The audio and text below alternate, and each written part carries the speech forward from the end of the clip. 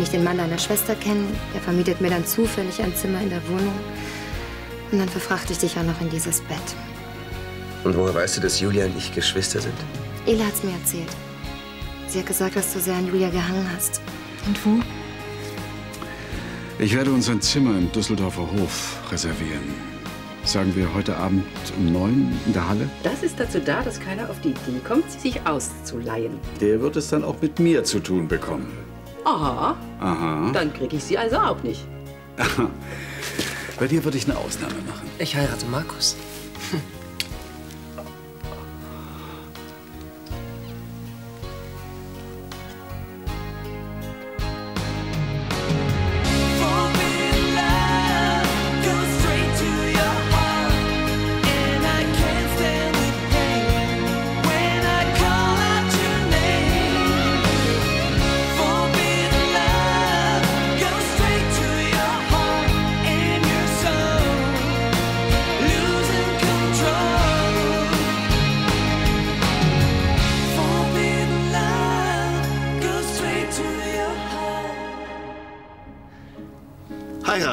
Ihr beide.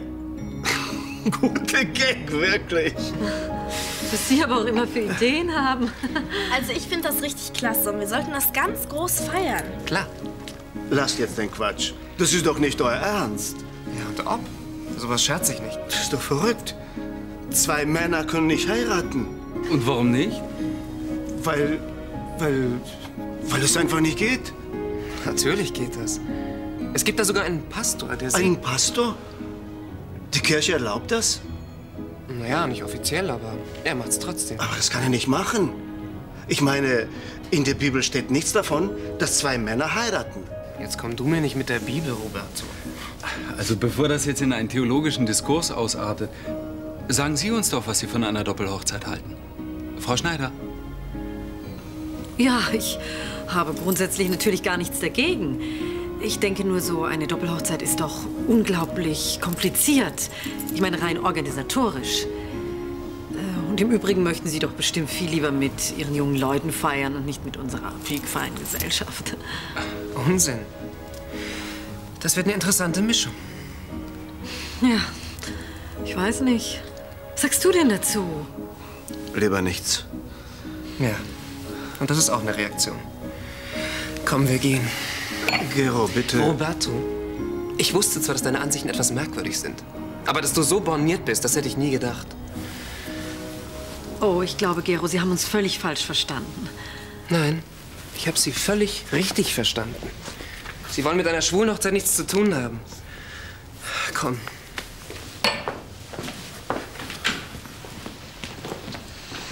Bin ich verrückt oder sind die beiden verrückt? Tja, darüber solltet ihr mal ganz scharf nachdenken.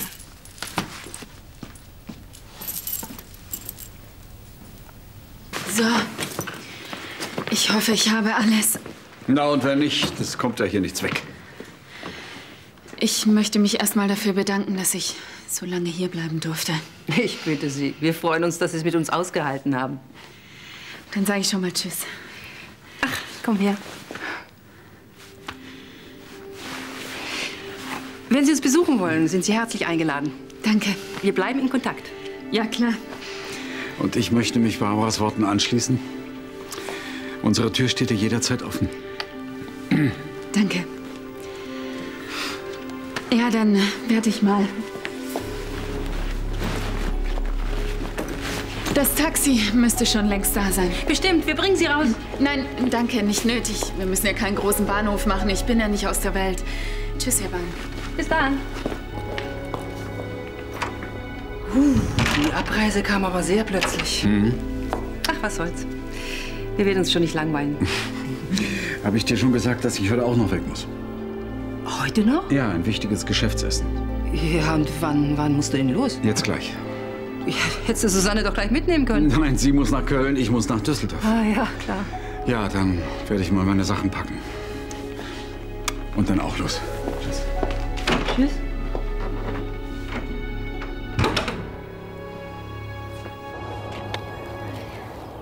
Soweit läuft's ganz gut mit Kerstin und mir. Ja? Machst du Fortschritte bei ihr? Mhm. Das könnte wirklich was werden mit uns. Gut. Schön. Ich meine, in letzter Zeit warst du ja auch nicht gerade gesegnet mit Liebesglück. Ja, stimmt. Vielleicht kommst du dann ja auch besser mit Julias Verschwinden zurecht. Ach, ich weiß nicht. Ich denke jetzt noch viel häufiger an Julia als vorher. Zumindest seit ich weiß, dass Kerstin in Julias Wohnung wohnt. Ich, ich kann da einfach nicht hin. Das, das ist wie eine Sperre, verstehst du? Ja, klar. Du willst nicht bei jedem Treffen an Julia erinnert werden. Aber wenn du das Kerstin erklärst, versteht sie das doch bestimmt. Eigentlich müsste sie sich das doch denken können. Sie weiß, dass Julia meine Schwester ist. Oder meinst du, ich soll ihr auch erzählen, dass, dass Julia und ich... Ich finde schon, dass sie das wissen sollte, ja. Guck mal, früher oder später würde sie es sowieso erfahren. Und dann ist es schon besser von dir. Hm? Beim nächsten Treffen erzählst du ihr davon. Aber dann müsste ich ja vielleicht auch zwangsläufig in die Wohnung. Nicht unbedingt, du kannst doch... Guck mal, du holst sie von zu Hause ab und dann geht ihr irgendwo hin, wo ihr in Ruhe quatschen könnt. Na komm, Augen zu und durch.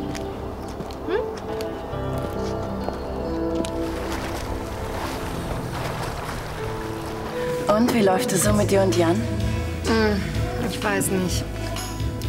Wieso hattet ihr Krach? Nein, nein. Er ist nur so. so. Wieso? Er ist merkwürdig. Er ist nie richtig offen zu mir. Naja, noch seid ihr ja auch nicht zusammen. Ja, aber ich möchte ihn einfach besser kennenlernen. Er hat doch noch so viel Zeit. Sei doch mal nicht so ungeduldig. Ich werde mich bemühen, auch wenn es echt schwer fällt. No Limits Richter? Hey, schön, dass du anrufst. Ja, ich habe gleich Feierabend und dann bin ich zu Hause. Ja, ich freue mich. Okay, bis dann. Jan will gleich bei mir vorbeikommen. Na dann mal los.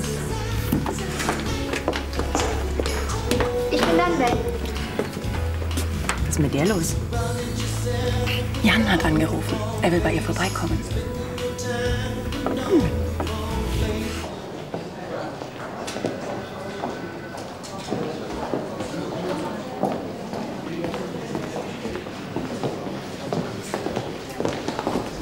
So, da bin ich.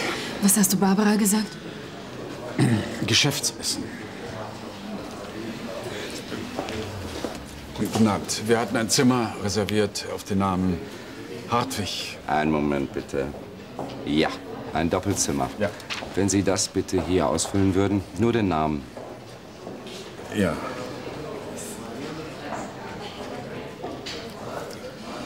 Bitte schön. Dann wünsche ich Ihnen noch einen angenehmen Aufenthalt, Herr Hartwig. Dankeschön.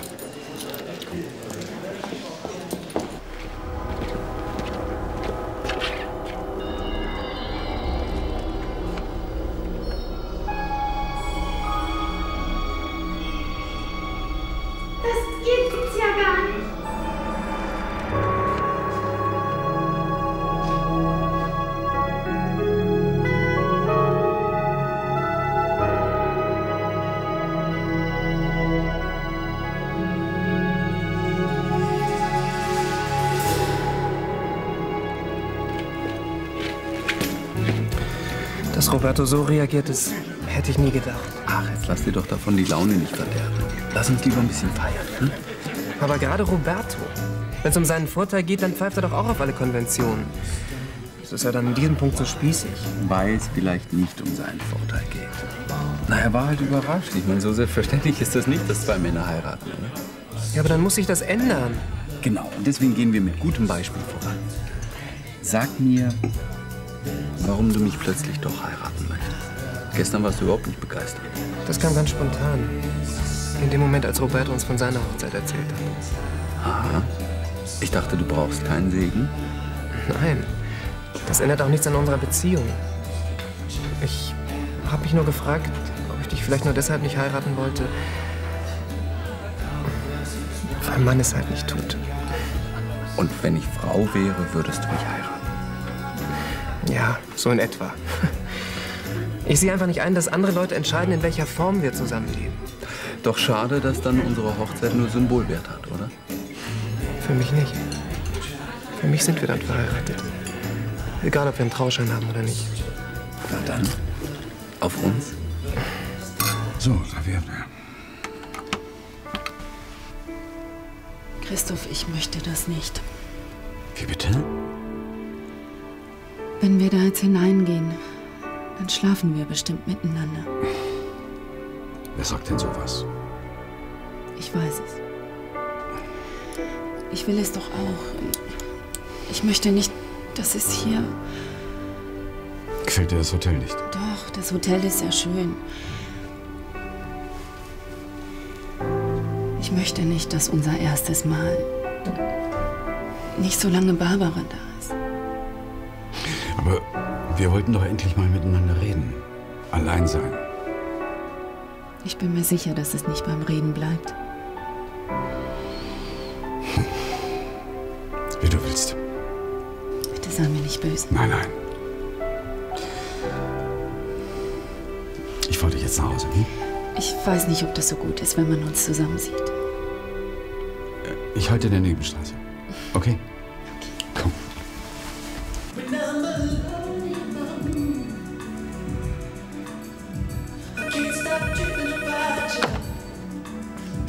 Bei Sander Richter? Jan! Du kannst nicht? Der Trainer ist krank geworden? Ja. Ja, verstehe. Okay, wir telefonieren. Ja. Ciao.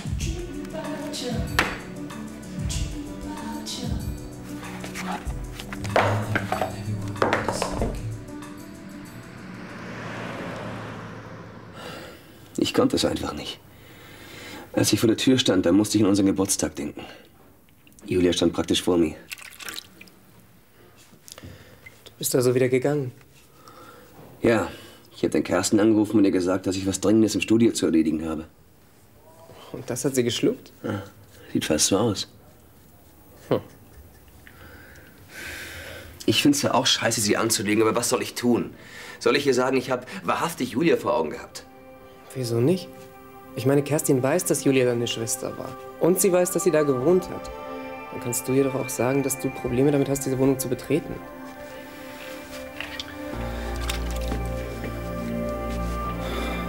Wenn du es ihr nicht erzählst, dann muss sie irgendwann denken, dass dir nicht so viel an ihr liegt. Das weiß ich doch auch, aber ich weiß einfach nicht, wie ich dieses Thema bei ihr anschneiden soll. Ganz einfach. Kerstin, du weißt, dass meine Schwester Julia in Ach, Wohnung komm, ich kann selbst sprechen, okay?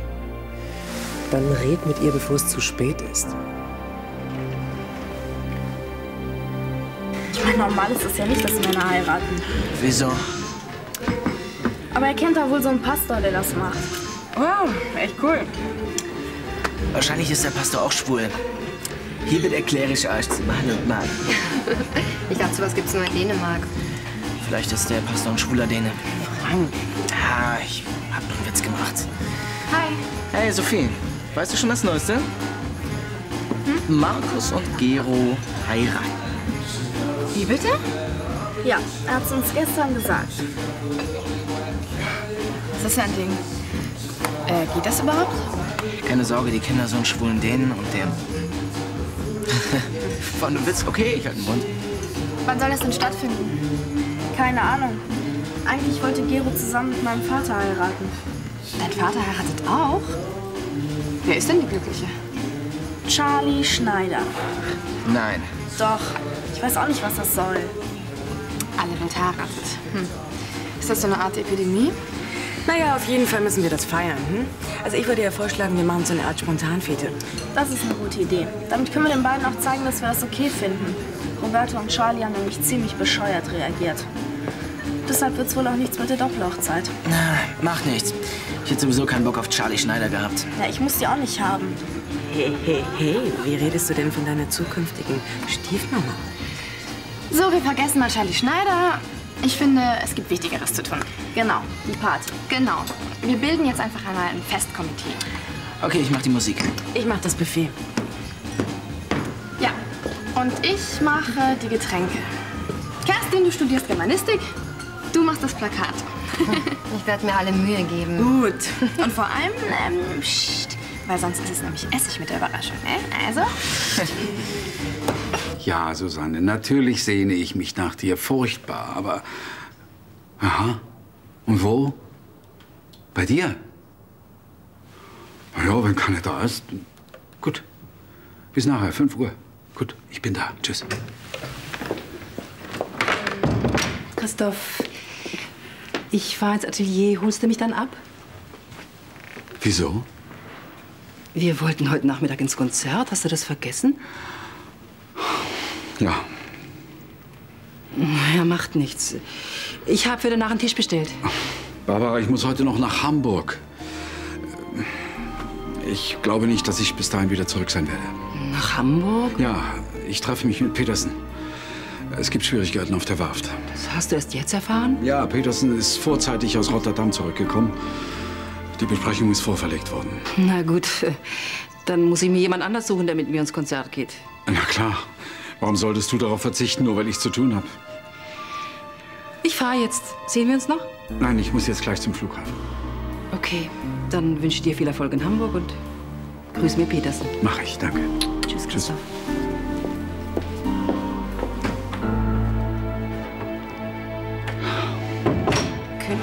Gefallen tun? Lass mich raten. Ich soll dir eine Kiste Wasser hochholen. Nein? Cola. Na schon, weil du es bist. Sag mal, weißt du, ob Jan schon im Studio ist? Keine Ahnung. Warum fragst du? Also, Hat viel Stress. nein, dazu kommen wir erst gar nicht. Wir waren gestern verabredet, aber er hat kurz vorher abgesagt. Hat er denn gesagt, warum? Einer der Trainer ist wohl krank geworden. Tja, sowas kommt vor. Ja, sicher. Aber später habe ich mich dann doch gefragt, ob es nicht nur eine Ausrede war. Quatsch, also Jan ist nicht der Typ, der so blöde Ausreden erfindet. Hm. Na, woher soll ich das wissen? Ich komme nicht dazu, ihn besser kennenzulernen. Hey, Kerstin. Hallo. Es tut mir leid wegen gestern, aber was sollte ich machen? Naja, wenn es nicht zur Regel wird. Nein, nein, ganz bestimmt nicht. Ähm, hast du heute Nachmittag schon was vor? Kommt ganz drauf an. Hm. Lass dich überraschen. Ich wünsche euch alles Gute. Danke. Du glaubst gar nicht, wie gut das tut. Robertos Reaktion hat mich schon sehr enttäuscht. Komm, er meint es doch nicht so. Es ist für ihn wahrscheinlich ungewöhnlich, dass ihr heiraten wollt. Also selbstverständlich ist das heute wirklich noch nicht. Ja und? Wir sagen ja auch nichts dagegen, dass er Charlie Schneider heiratet. Obwohl einem dazu ein paar Takte einfallen könnten. Ja und ab. Aber das ist seine Sache. Warum kann er dann unsere Beziehung nicht genauso akzeptieren? Wart's ab.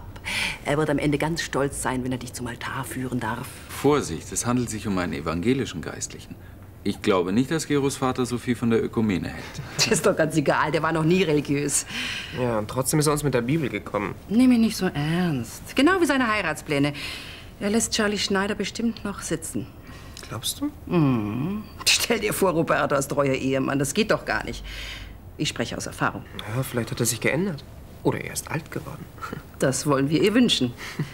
Aber es ist nicht unser Problem. Sagt mal, wisst ihr schon, wann ihr heiraten wollt? Nein. Wir wissen auch noch nicht, wo wir feiern. Wie wär's mit Friedenau? Oh, das wäre doch herrlich. Ich muss noch mit Christoph sprechen, aber er hat bestimmt nichts dagegen. Oh, schade, dass er noch nicht geschieden ist. Wir könnten so schön eine Doppelhochzeit feiern. Oh nee, lass mal. Von Doppelhochzeiten habe ich erst mal genug. Ach ja, übrigens, hat einer von euch beiden heute Nachmittag Zeit? Ich wollte ins Konzert gehen. Es werden die Partiten von Bach gespielt. ähm, wir haben eigentlich schon was anderes vor. Oh, macht nichts. Es war ein bisschen naiv von mir zu glauben, dass einer von euch beiden eine Gegenwart der seines Verlobten vorzieht.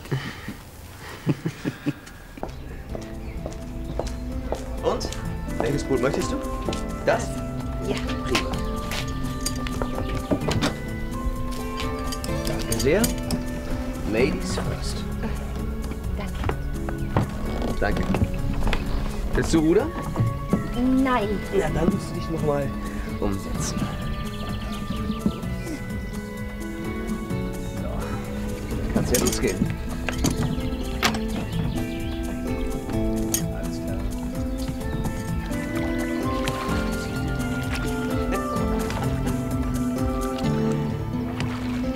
Natürlich freue ich mich auf dich. Wo bist du denn gerade? Im Stau? Das heißt, du kommst zu spät? Sicher bin ich ungeduldig. Hm? Er löst sich gerade auf? Das finde ich gut. Sonst hätte ich mich nämlich gleich beim Verkehrsminister beschwert. In einer halben Stunde? Na, hoffentlich, hm? Hm? Ich freue mich. Okay. Bis dann.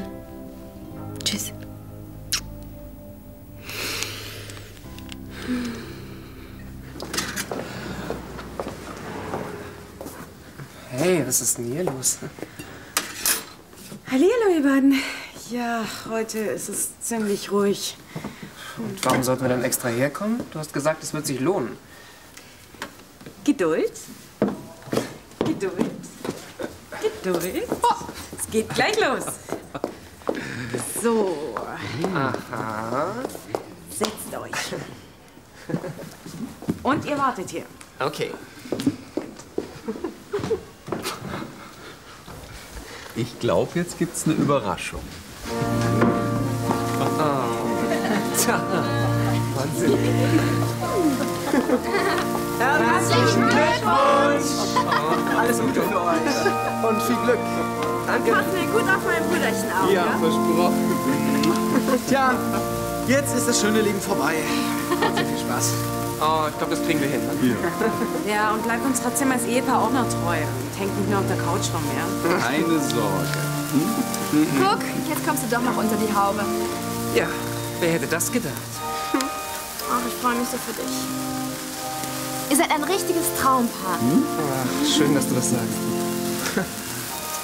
Hm. So. Moment. Geht das? Ja? Ja, ja.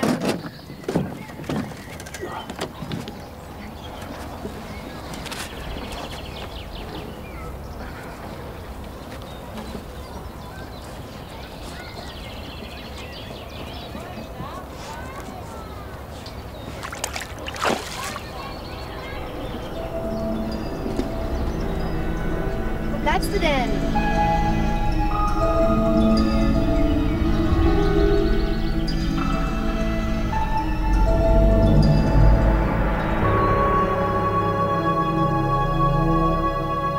Jan!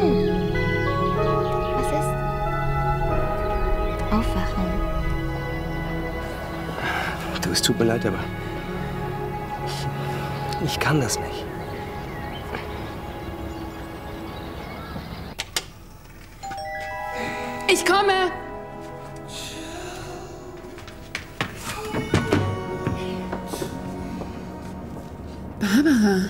Hallo, Susanne.